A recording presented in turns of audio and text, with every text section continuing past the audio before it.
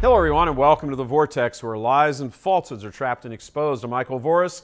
The news about that FBI dossier talking about faithful Catholics being terror threats and naming church militant, it's like the gift that just keeps on giving. The other day, a reporter here in Michigan called and asked to interview me on the subject of Christian nationalism, which I agreed to. He said he was trying to better understand what Christian nationalism was or is, and since I had been interviewed earlier on the subject, he wanted to get inside my head, his words, and learn about it. Of course, all this talk about church militant, as well as others, being domestic white terrorist, nationalist, extremist Christians, there, did I cover every possible permutation? It's completely insane. These adjectives are thrown around in possible combination, every possible combination you can think of white, terrorist, extremists, nationalists, domestic Christians, and a hundred other combos. What it shows more than any other threat is just how idiotic and propagandist the people conflating all these things are. If you take those six adjectives Christian, terrorist, extreme, white, domestic, and nationalist and arrange them in all kinds of various combos, you get the entire crazy world of the lefties trying to label Christians, especially Catholics, as a threat to the established order, enemies of the state. And the combination can be whatever combo a given outlet or government agency wants it to be, because in the end, for them and multiple media allies, all that matters is that we are somehow portrayed as dangerous and violent. Never mind, it's not Catholics lopping the heads off hundreds of statues of saints across the country, or defacing our own parishes with graffiti and sometimes setting them on fire, or attacking pro life pregnancy centers. What matters is that we are the enemy, period. And if they can't find an actual crime, like with the case of pro life dad Mark Houck, then they'll just scramble the adjective list around and come up with a fresh label. When the reporter asked me what Christian nationalism is, I told him a view of the nation and culture rooted in the Christian belief that all men are created equal and possess a certain dignity because they are created in the image and likeness of God. From that truth flows how laws should be constructed, how politics should be conducted, and how the natural moral law should be the basis for the governing of human affairs. He said, Well, why does it have to be Christian? Why can't it be Hindu or Islamic? I kind of chuckled quietly to myself. Then I said, because neither of those belief systems subscribes to the natural moral law or the foundational truth that we're all made in the image and likeness of God and therefore cannot be treated with less dignity. Islam doesn't treat its women with the deserved dignity of being made in the image and likeness of God, and Hinduism has a caste system where those on the bottom, the untouchables, are viewed as practically less than human, and we might add, treated accordingly in law.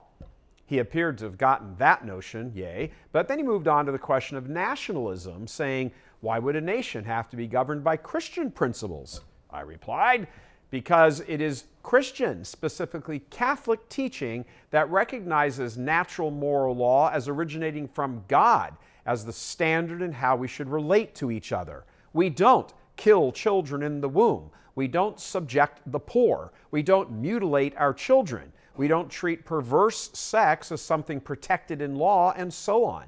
We don't take away people's rights and means to defend their lives and their property, as well as the lives of others. As you might imagine, the questions included, oh, well, what about the Crusades and the death penalty? It always, always includes that. What's the point here? That is church militant. More and more is the one being sought out to explain these sorts of things, to be con- having con- uh, interviews conducted by the media with us. And what do we say? Western civilization was built by the Catholic Church, raised up from the ashes of the Roman Empire. We are the ones who converted and settled the marauding barbarian hordes, built an agricultural society, taught people to fend for themselves, developed hospitals and universities, and did every bit of it based on the underlying Christian worldview rooted in natural moral law that all men are created in the image and likeness of God. Heck, the understanding of natural moral law is so prima facie that even an atheist could accept it. In fact, in practice, most of them do. They just don't realize it because they haven't thought about it enough. Yet, just underneath the surface of all these interviews and articles and FBI notes and so forth is the reality that Church Militant is on their radar, having established ourselves as the outfit for Catholic expounding on the political and social events of the day. Every article, every video, every mention raises our profile in their book as a legitimate threat to their worldview, a threat that sooner or later will have to be dealt with. Man, it is great to be in the fight. You got to get in the fight with us. You got to get in the fight. At one point, he said to me, Well, what you seem to be painting is an us versus them mentality or scenario. I said, Well, on the level of persons being made in the image and likeness of God, no, that's not true. But on the field of worldviews, absolutely. Although it's not something we're creating, it just is. That side, that ideology, does not see all people as made in the image and likeness of God. We do, and them's are fighting words. So you can see by the trend line here just now, like we can, where all this is going. CM cannot be left alone, unattended, while we deconstruct their narrative about man, God, the universe, the body politic. Their narrative, their worldview is secular humanist, and that's on a good day. A world without God, ultimately atheist communism, and Church Militant is happy to be the lead enemy of the state if that is their state one that murders infants before they see their first sunrise, or butchers and mutilates young boys and girls, or submits them to unrelenting porn or drag shows, a state that applauds sodomy as marriage and allows perverts to pick which IVF baby they want to save and raise as their own child without a mother, while the other tiny humans are flushed down the toilet. It is a dark, monstrous worldview held by the opposing ideology and we are asking you now to support this Catholic apostolate in leading the charge against these evils. This is why we have begun our dollar a day campaign, asking you to please click on the provided link and commit to just $1 a day, 30 bucks a month, just a buck a day, to declare your support for our critical work here. What has arisen on the political and cultural scene is worldwide communism back from its apparent defeat 30 years ago when the Soviet Union collapsed, back and stronger and even more formidable because it no longer paints itself as a threat to Christians and nationalism, but the natural outgrowth of care and compassion for humanity. That's bull. Nothing could be farther from the truth. The Great Reset is nothing less than the victory of worldwide communism ushered into the world and even parts of the church. No other apostolate, not a single one, is as well positioned as this one to lead that assault against these communists. We've never shied away from calling this what it is. From our very first beginnings 17 years ago, we knew all of this and we were sounding the alarm back then.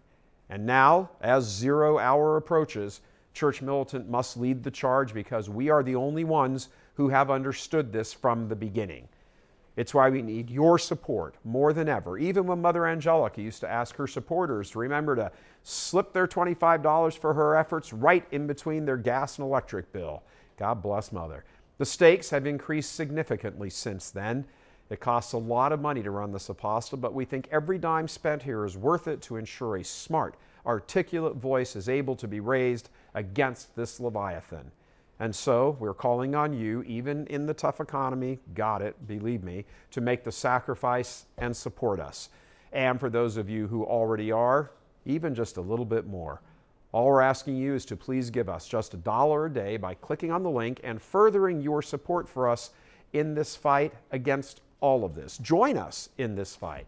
It really is about all of us, about the truth, about God, about the proper order of the universe. A dollar a day to fight communism and score victory for Holy Mother Church. What greater badge of honor could you take with you to your personal judgment besides telling our Lord you fought for His church when the chips were down, when you were labeled an enemy of the state? God love you. I'm Michael Voris.